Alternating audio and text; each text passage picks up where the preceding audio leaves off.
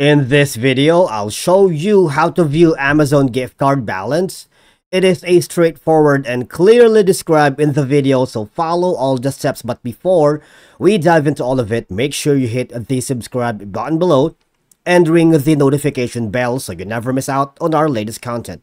Alright, so there are two ways you can check or view your Amazon gift card balance. One is using the uh, website. I'm here at amazon.com. I log in using my credentials. Or you can simply open the app on your mobile device, log in as well. All right.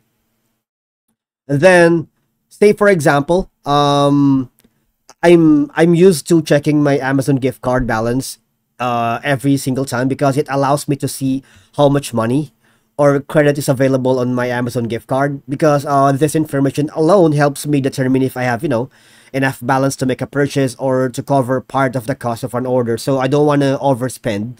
So I always religiously check my Amazon gift card balance. So how do we check it? It's very simple, all right? If you're still following the video, go here and Alexa's answer.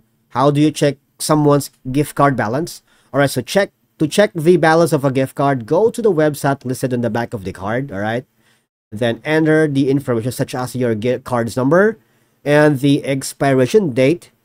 Next is click submit and view your balance on the next page, all right? And if for some reason, if you can't check your balance online, call the company using the phone number on the back of the card.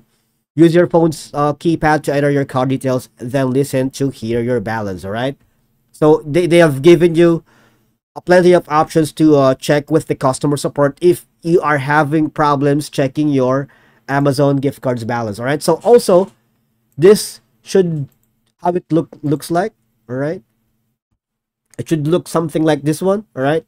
Here's my um. Here's where you can um add gifts or credits to your Amazon Pay balance. All right. Something like this one. All right.